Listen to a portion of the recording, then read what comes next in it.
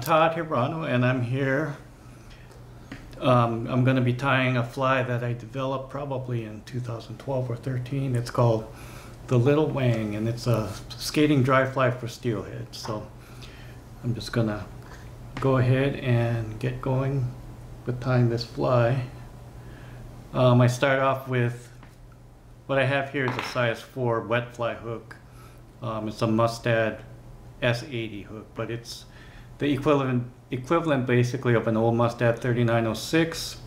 Um, you can also, I think the equivalent is also like a Tiemco 3761. Um, and I forgot here, I actually need to. What I also do on these hooks is I, I take like a emery board thing and I kind of roughen it up a little bit. I use gel spun thread on these flies to keep the hair tied down nice and tight. Um, I have Veevus gel spun in white. This is um, 150 denier, so I start off with a base wrap of the white, starting right from the very front of the hook. I want to make sure that I get a really solid foundation of thread. I want to be sure that the thread doesn't spin on the hook so that when the fly is done, um, it can handle some pretty rough use without without material spinning around the, the hook shank there. So I start with that base wrap of thread and I come up to the midway point, back up on the hook shank.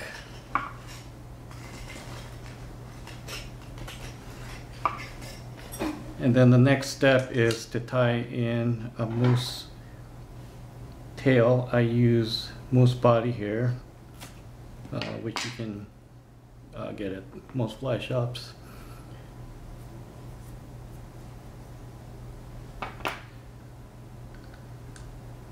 So I take the moose body and even it up in a hair stacker.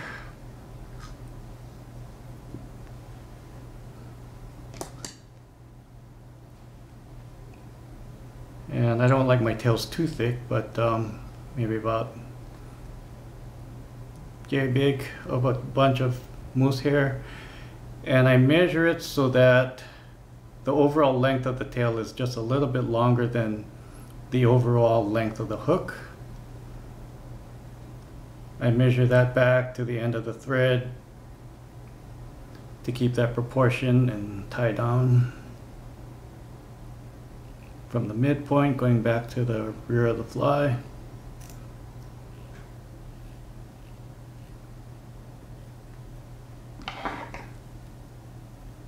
And then I go ahead and trim the butts here.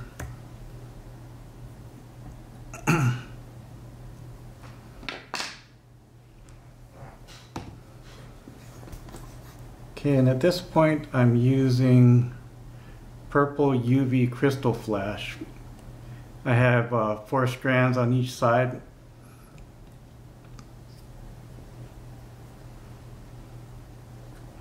So I take four strands and I tie it on one side. Come back with another four strands which I've grouped together with some masking tape. Here's what I've done.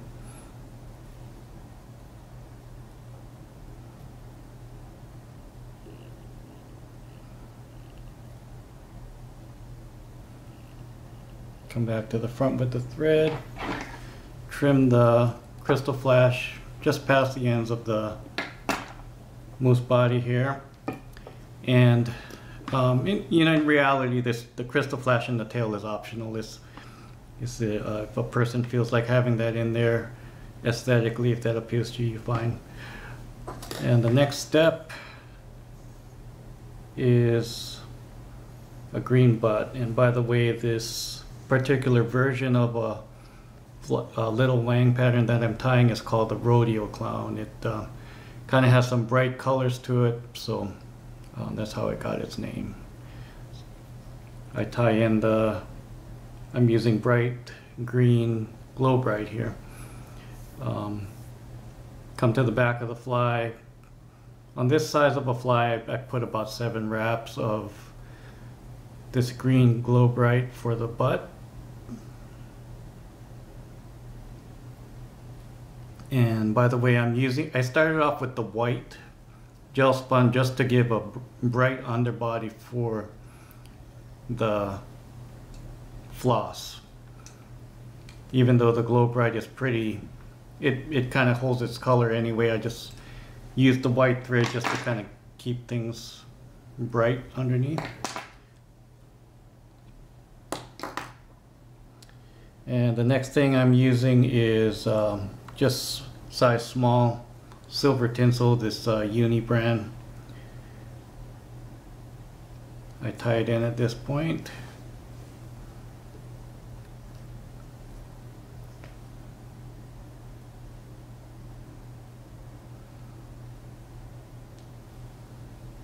I have a weird habit of um, keeping the floss on the spool. I have a rubber band on my vise. Um, you can also just cut a length of tinsel if you want. Um, I just have this weird habit of conserving materials. So.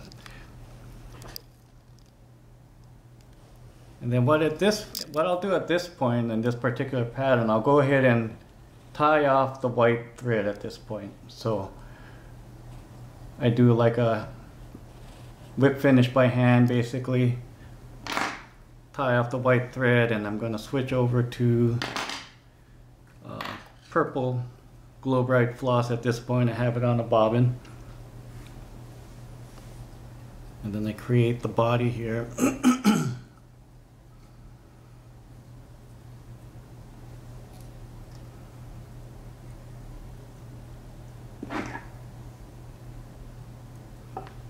I just make wraps with the purple glow bright going up and down the length of the body, which is approximately, you know, in the rear, the rear half of the fly. Um, I go around with the purple glow bright, making sure that it's covered the white floss. And then at this point, I'm going to change colors with my thread for the front section of the fly. So I'm going with Veevus 150 denier gel spun. Again, starting in from the very front of the fly, tying it down nice and secure.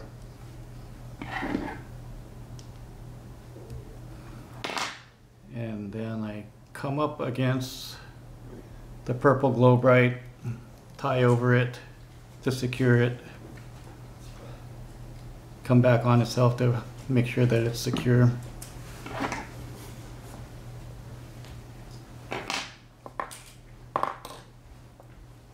Then at this point, I take my tinsel, make about five wraps around the body as evenly as I can.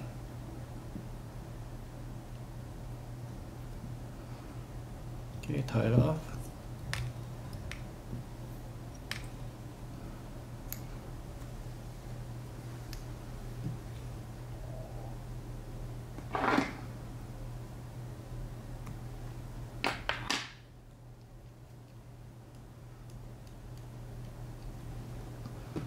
And at this point is where we start with foam. I got some pink foam for the shell back and the lip. I just cut into, into a triangular shape like that.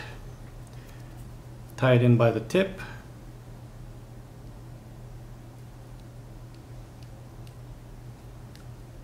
And then at this point, I'm going to use um, Hareline cactus chenille and large for this particular size of a fly. And I use this as just to add some flash and to create a little ball of material that helps splay the wing out. So I tie this in, I, I strip off to the core, tie it in, um, make two to three wraps of the cactus chenille close together.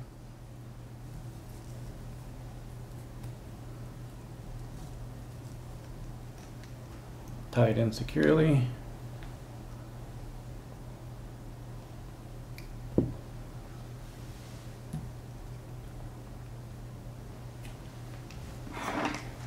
Trim it off on the bottom here.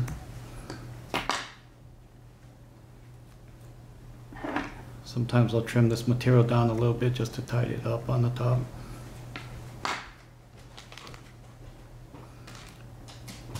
Okay, and again, I'm gonna add more flash, which is, um, is optional. It depends on your tastes. So I tie in the purple UV flash, four strands on each side.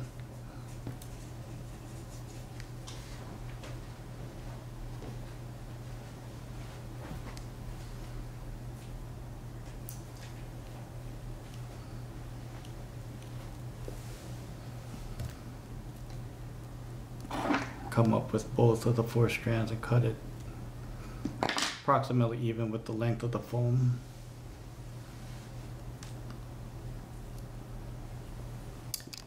And at this point I'm going to be using some, for this particular pattern I'm going to be using orange cow elk for the wing.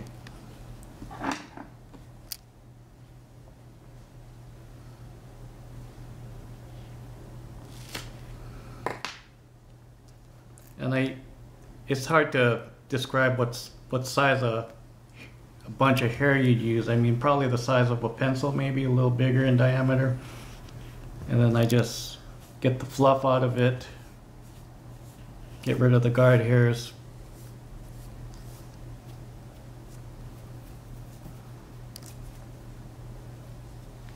And then it goes in the hair stacker.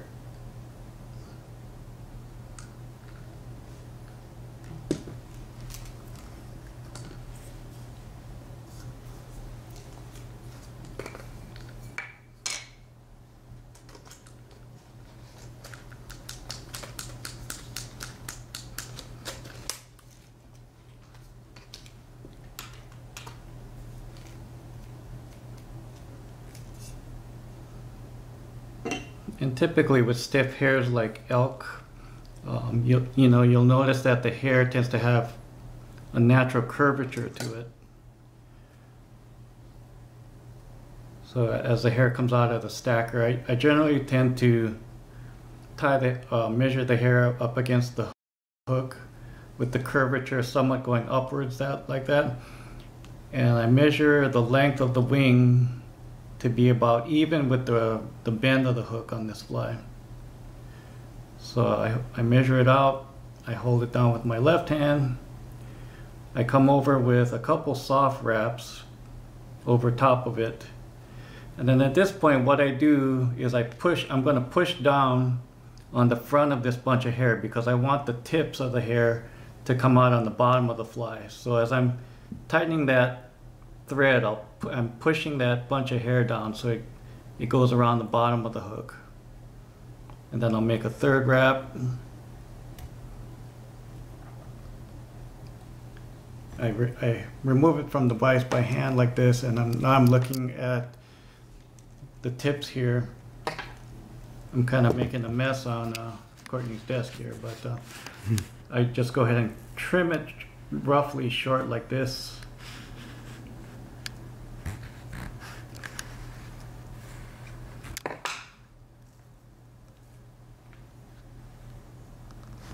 Put it back in the vise.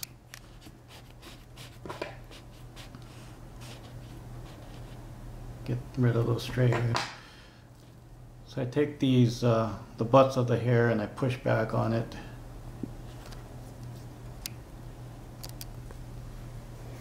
And then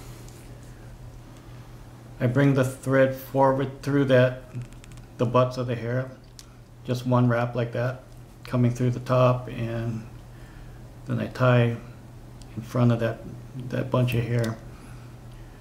And then at this point, what I do is I trim the butts pretty short, almost flush on the top, coming around, trimming it pretty short.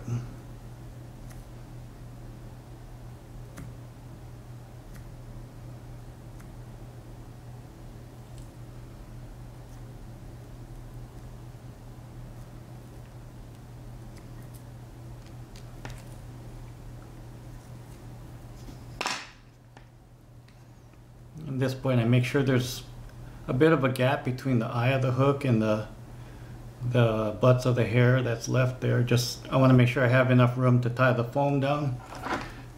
So at this point, what I do is I take my scissors and I use it to, as best as I can, separate the hair in half.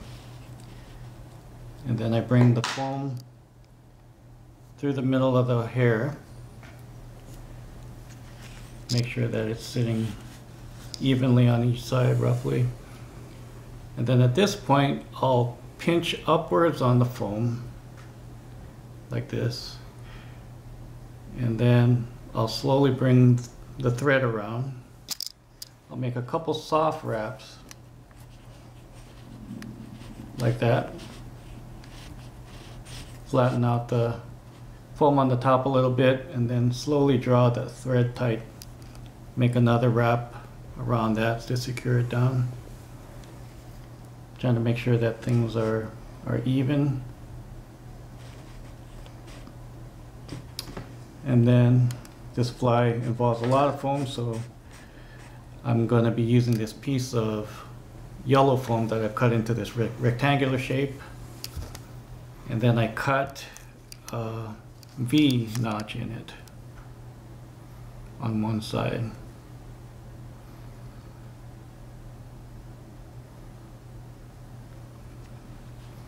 Okay, so I take this piece of foam with the V notch towards the back and I fold it, again, fold it upwards. Like this. And I lay it over the top of that pink foam and then again come around two soft wraps. Make sure that it's sitting down straight and then slowly draw it tight. Make a third wrap over that. And um, last bits of foam here now.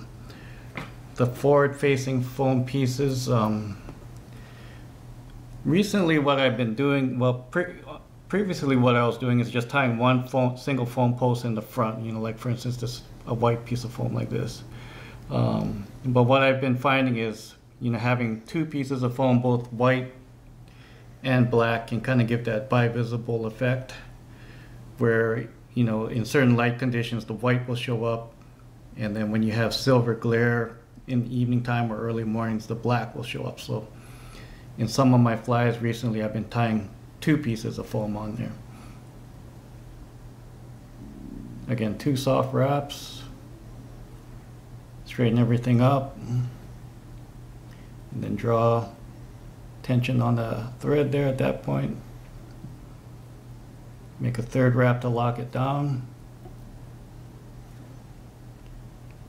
And then I push up on all of the foam and then I come in front and make a few wraps there to secure everything. And at this point, I'll take my whip finishing tool and make two five wrap whip finishes. So five wraps there. But to lock it down, I'll make another five wrap whip finish over top of the first one.